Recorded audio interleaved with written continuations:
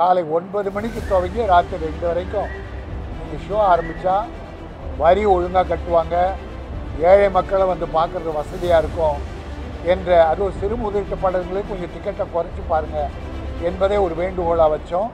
தமிழ் திரையுலகம் சார்பில் இன்றைக்கு தமிழ் திரையுலகத்தில் இருக்கிற பல சிரமங்களை தயாரிப்பாளர் சங்க தலைவர் நிர்வாகிகள் விநியோக சங்க தலைவர்கள் திரையரங்க உரிமையாளர்கள் கூட்டாக மாண்புமிகு தமிழக அவர்களை அவர் முதல்வர். அவர்களை சந்தித்து ஒரு மனு கொடுத்தோம்.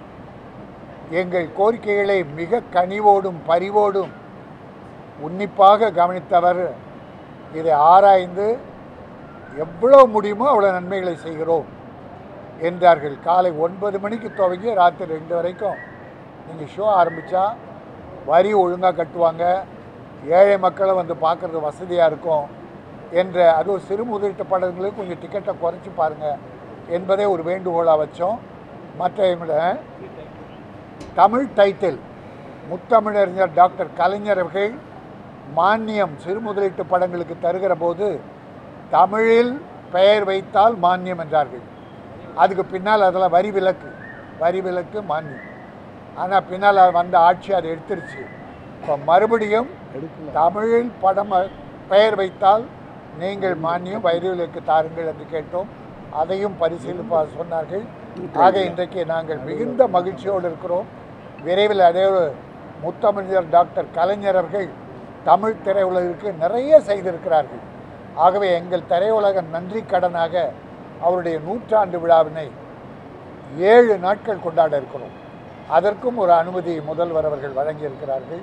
ஆக இன்றைக்கு சிறப்பான நாள். முதல்வர் அவர்கள் கனிவோடும் பரிவோடும் எங்கள் கோரிக்கைகளை கேட்டு முடிந்தவரை நிறைவேற்றுகிறேன் என்று சொன்னது நாங்கள் தயாரிப்பாளர் சங்கம் வினோத் சங்கம் திரையரங்க உரிமையாளர்கள்.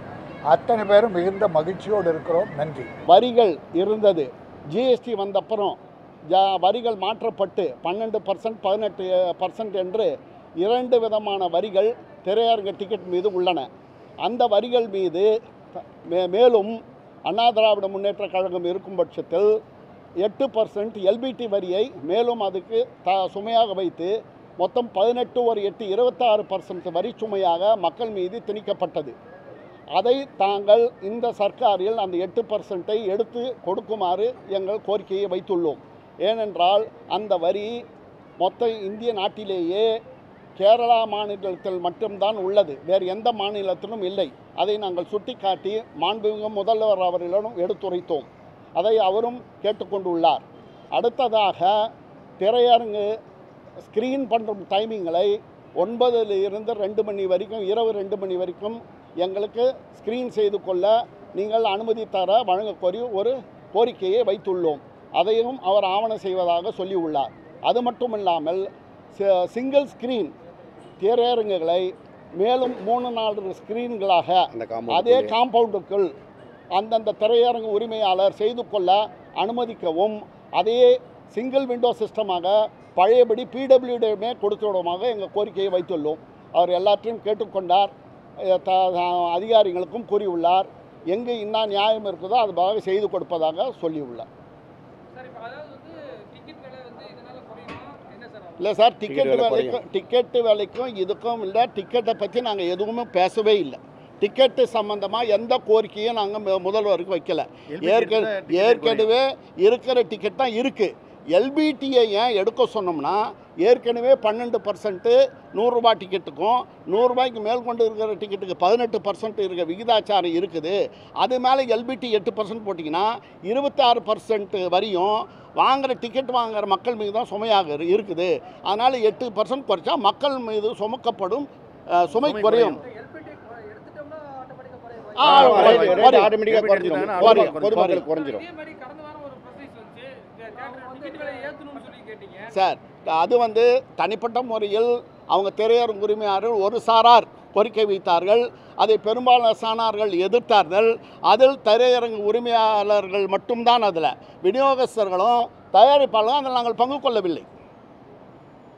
அது வந்து அந்த செக்டாரு அவங்களுக்கு வந்து இபி பில் ஏறி போச்சு ப்ராப்பர்ட்டி டேக்ஸ் ஏறி போச்சு பராமரித்துறை செலவுகள் ஏறி போச்சு. அதனால் எங்களுக்கு இந்த சலுகை கொஞ்சம் பண்ணி கொடுக்க மாதிரி கவர்மெண்ட் ரிக்வஸ்ட் பண்ணி இருக்காங்க அது பண்ணுறாங்க பண்ணுறது கவர்மெண்ட் கையில் தான் இருக்குது இல்லை அதில் திரையரங்கு உரிமையாளர் சங்கம் சார்பாக பேசுகிறேன். அதாவது அதில் வந்து இரண்டு சங்கங்கள் இருக்கின்றன. ஓர் ஆமாம் இரண்டு சங்கங்கள் இருக்கின்றன. இன்றைய தினம் மாண்புமிகு தமிழக முதல்வர் அவர்கள் ஒரு உத்தரவிட்டு கடந்த பதினொன்றாம் தேதி ஒரு ஜியோ ஒன்று வெளியிட்டிருக்காங்க. அந்த ஜியோவில் வந்து மூன்று வருடத்திற்கு ஒரு முறை ஒரு வருடத்திற்கு ஒரு முறை ஒவ்வொரு வருஷமும் ரினியூவல் பண்ணணும் அப்படின்றத மாற்றி இருபது வருட கட்டங்கள் கட்டடங்களுக்கு வந்து இன்றைய தினம் மூன்று வருஷமும் இருபது வருடங்களுக்கு மேற்பட்ட கட்டடங்களுக்கு வந்து இன்றைய தினம் இரண்டு வருஷம்னு மாற்றி கொடுத்த முதல்வர் அவர்களுக்கு முதல் கட்டமாக எங்களுடைய மனமார்ந்த நன்றியை திரையரங்கு உரிமையாளர் சங்கம் சார்பாக தெரிவித்துக் கொள்கிறோம். அது மாத்திரம் இல்லை மக்களினுடைய வரிச்சுமையை குறைப்பதற்காக தான் இது கடந்த அதிமுக ஆட்சி காலத்தில் வந்து இந்த எட்டு பர்சன்ட் வந்து என்ன பண்ணாங்கன்னா லோக்கல் பாடி டேக்ஸ் போட்டாங்க.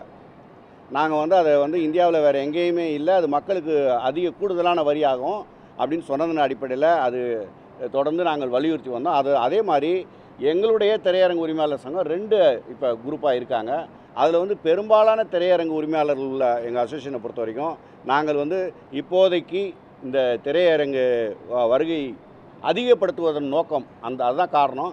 அதனால் நாங்கள் வந்து டிக்கெட்டு கட்டணத்தை எந்த வகையிலும் உயர்த்தி நாங்கள் வந்து கேட்கவில்லை.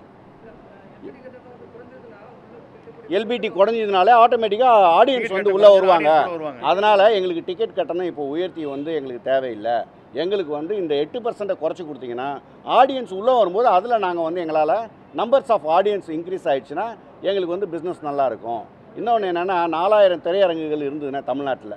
இப்போ அது வந்து ஆயிரம் திரையரங்குகளாக வந்து மாறி இருக்குது அப்படி இருக்கும்போது சிறு படங்களுக்கு வந்து திரையரங்கில் இடம் கிடைப்பது கஷ்டமாக இருக்குது அதனால் இப்போ இந்த சிங்கிள் தேட்டராக தமிழ்நாட்டில் இருக்கக்கூடிய தேட்டரை ஒன்றுக்கு மேல் அந்த அந்த காம்பவுண்டுக்குள்ளேயே ரெண்டு அல்லது மூன்று அல்லது நான்கு தேட்டரா சின்ன சின்ன தேட்டருங்களாக மாற்றிட்டோம்னா சிறு படங்களுக்கும் வாய்ப்பு கிடைக்கின்ற அடிப்படையில் தான் இன்றைக்கி தயாரிப்பாளர் சங்கமும் விநியோகஸ்தர் சங்கமும் திரையரங்க உரிமையாளர் சங்கம். மூணு சங்கமும் இணைஞ்சு வந்து நாங்கள் வந்து இந்த கோரிக்கையை வச்சுருக்கோம் அப்படின்னா அதுலேருந்தே நீங்கள் தெரிஞ்சுக்கலாம். நியாயமான கோரிக்கையை தான் நாங்கள் என்ன பண்ணியிருக்கோம் வச்சுருக்கோம். இதன் மூலமாக என்னென்னா சிறு படங்கள். இப்போ இப்போ வாரத்துக்கு நாலு சிறு படங்கள் வருது. நான் கூட ஒரு திரையரங்கம் வச்சுருக்கிறேன். அப்படி திரையரங்கம் வச்சுருக்க பட்சத்தில் ஒரு பெரிய படம் ஓடுதுன்னா அந்த சிறு படங்களுக்கு வாய்ப்பு கொடுக்க முடியல. ஸோ சிறு படங்களுக்கு வாய்ப்பு கண்டிப்பாக கிடைக்கணுன்ற அடிப்படையில் தான் என்ன பண்ணுறோம் அந்த பெரிய தேட்டரை சின்ன தேட்டராக ஒரு மூணு தேட்டராக மாற்றினோம்னா இப்போ வந்து ஆயிரம் தேட்டரு ஆடியன்ஸ் உட்கார்ற மாதிரி தேட்டருங்களுக்கு ஆடியன்ஸ் நூறு நூற்றி ஐம்பது பேர் கூட இப்போ வர்றதில்ல. அதை வந்து மாற்றி அந்த காம்பவுண்டுக்குள்ளே ரெண்டு மூன்றாக மாற்றுறதுக்கு அந்த பிடபிள்யூடி பழைய பிடபிள்யூடி ரூல்ஸ் படி மாற்றி கொடுங்க அப்படின்னு சொல்லி கேட்டிருக்கோம். முதல்வர் வந்து ஆவணம் செய்வதாக சொல்லியிருக்கோம் ஆமாம் அது வந்து ஜிஎஸ்டி அது வந்து ஜிஎஸ்டி மத்திய அரசாங்கத்தால் விதிக்கப்பட்ட ஜிஎஸ்டி வந்து நூறுரூபா டிக்கெட்டுக்கு பன்னெண்டு பர்சன்ட்டும் நூறுரூபாய்க்கு மேல் உள்ள டிக்கெட்டுக்கு பதினெட்டு பர்சன்ட் இருக்குது அந்த பன்னெண்டு பர்சன்ட்டுக்கு மேலே எட்டு பர்சன்ட்டும் பதினெட்டு பர்சன்ட்டுக்கு மேலே எட்டு பர்சன்ட் விதிக்கிறதுனால மக்களுக்கு கூடுதல் சுமை. இதில் வந்து அரசுக்கு எந்த இழப்பும் கிடையாது. தேட்டர் உரிமையாளருக்கு எந்த லாபமும் கிடையாது. தயாரிப்பாளருக்கு எந்த லாபமும் கிடையாது. விநியோகஸ்தருக்கு எந்த லாபம் கிடையாது. பொதுமக்களுக்கு எட்டு பர்சன்ட் கூடுதல் வரி வந்து குறைக்கப்படும். எட்டு ரூபா குறையும்? ஆமாம் இரநூறுவா டிக்கெட்டில் பதினாறு ரூபா குறைஞ்சிரும்.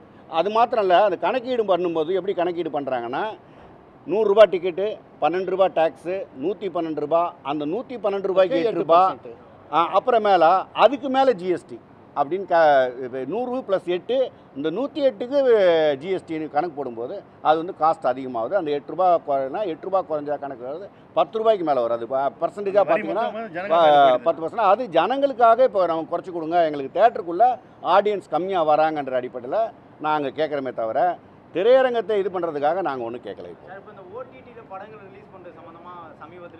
அது வந்து தயாரிப்பாளர் சங்கமோ விநியோகஸ்தர் சங்கமோ திரையரங்கு உரிமையாளர் சங்கமோ உட்கார்ந்து எங்களுக்குள்ள ஒரு உடன்பாடு எட்டுவோம். எங்களில் நாங்கள் திரையரங்கு உரிமையாளர் சங்கத்தில் ஒரு பாதி இருக்கிறவங்களுக்கு வந்து வித்தியாசமான கருத்துக்கள் இருக்குது அந்த மாதிரி நாங்கள் வந்து நாங்கள் மூணு சங்கமும் இணைஞ்சு செயல்படுறதுக்கு தான் உறுதியாக இருக்கிறோம்.